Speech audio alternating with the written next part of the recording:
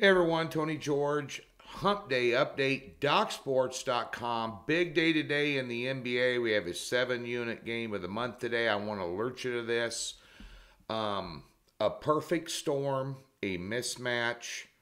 I can go down the list of reasons why you need to unload on this one here tonight. I rarely push it this hard, but we have a seven unit game of the month tonight in the NBA. We're unbeaten with top plays in the NBA this year. They're very rare. You know, I've had two all year long. That's it in the entire season so far. You got guys got game of the month, a game of the year every other day, and uh, all over the internet you can find it. Uh, I tread lightly in the NBA because the NBA is a sport where anybody can beat anybody on any given night, and I don't care who it is. Now, last night we had a winner with uh, the Warriors in a no sweat win over the Nets, which I figured would happen. I wanted to pull the trigger on that top play, but we're on a five and one roll in the NBA. We have a seven unit top play tonight. We're unbeaten in these. They're very rare. Doc Sports, get it for free.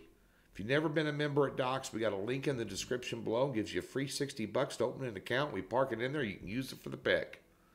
Okay? Just so you know. In college basketball, a doubleheader, a four unit totals play, which is, when you read the write up, you'll see why I love this total. It, there's some unbelievable stats for this total. And then a two unit side play. And, uh, Last couple of days, we put out three unit picks, flat bets, right down the board, went two and four. That is not going to work. So uh, a little bit of a change here, and this happens early in the season. There's a lot of surprises, but we've had some big misses, and that's unacceptable. So we're gonna, you know, we're we're gonna right the ship here tonight. Uh, in hockey, uh, passing tonight, um, we had uh, another winner last night, three and zero oh, plus fifteen hundred bucks last three. There's only three games tonight. Don't like them. All football will be out tomorrow. Scott uh, Spreitzer and myself are headed to Stations Casinos Red Rock Sportsbook here in Las Vegas today to tape the 8 and 8 for you. Going to be uh, actually seven plays on the uh, slate today for the show, and seven picks are lean. So be that'll be up later today. So be sure and tune in. So uh, nonetheless, let's uh, talk about tonight's game and the MAC, and and I'm going to give you a lean in college basketball as well. Um, the lean is Michigan State on the money line minus 145, 150 ish. I'm not willing to lay three. I think they get over on Butler because Butler hadn't played anybody. You know, um, not big on Central Arkansas and Troy. You know, rack, running up a bunch of numbers on them. But I think Michigan State, Tom Izzo, they get it done tonight. I play them on the money line, though, and take all the points out of it. I've got uh, Michigan State power ranked at 27th, and I've got Butler power ranked at 62nd. Big, big difference for a three point spread, but I'm a little concerned about Michigan State's point production up top right now early in the season, but Tom Izzo knows how to win games like this, and Butler will have their full attention. Just FYI, for what it's worth, didn't want to spread it around on another triple header today. That was one I had written up. So for what it is, what it is. Northern Illinois at Buffalo tonight. Now we gave you the winner last night with Toledo for free. Let's do another one of these MAC games. And the thing I look for in these MAC attack games they're having, you know, Tuesday, Wednesday, Thursday every week. You got to look for subtle things, small things that you see can make a difference. I don't think odds makers are near as sharp you know, with these lines early in the week as they are, like, say, Ohio State Purdue this weekend or, you know, the NFL, because there's only 16 games. And, uh, but these games are heavily bet games now, and they're getting a little sharper. But the one thing tonight, I like the under 59 and a half in this Buffalo and, and Northern Illinois game. This is a big game for Northern Illinois. Um, this prop, if they win this, they're probably going to end up being in the title game, and they're laying one and a half points here. If you like Northern Illinois, play them on the money line. Forget the point and a half. Just friendly advice. If like Buffalo, take the points. I honestly think it's a toss-up game.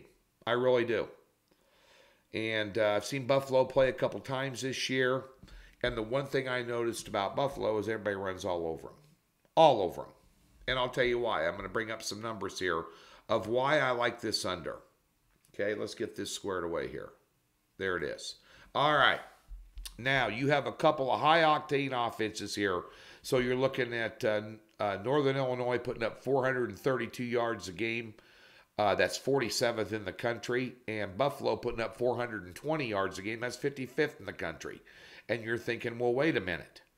You know, uh, and they're scoring combined 63 points a game.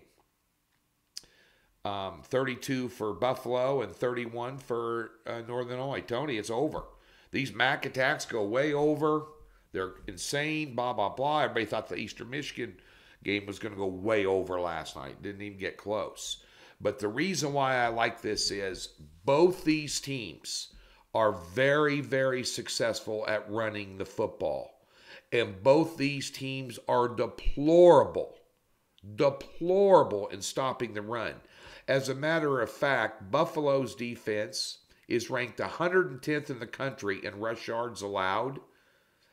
Northern Illinois' defense is ranked 119th in yards allowed. So, in a big game like this, what are you going to do as a head coach? You're going to play to your strength. That's running the football because they can't stop it. And that's each coach's philosophy going into this game. They're not going to air it out. Neither one of them got great quarterbacks that can throw the ball. You're not going to see big plays down the field through the air. You know, you may get some dink and dunk stuff, you know, working off play action because the run is so successful. They bring their safeties up to stop the run. They put six in the box. You know, then maybe you dump one over the middle on a drag route or do a little flare you know, maybe hit the tight end in the middle seam or something down the middle, maybe for a big one there, might go 20 yards. But at the end of the day, they're going to run the ball. And when you run the ball, you eat clock. You go on 9 to 12 to 13 play drives, eating six, seven minutes a pop. Going to take a lot to get to 59 and a half. Under Buffalo, Northern Illinois tonight. Be sure and get over to Docs we got a big NBA play for you. Do not miss it.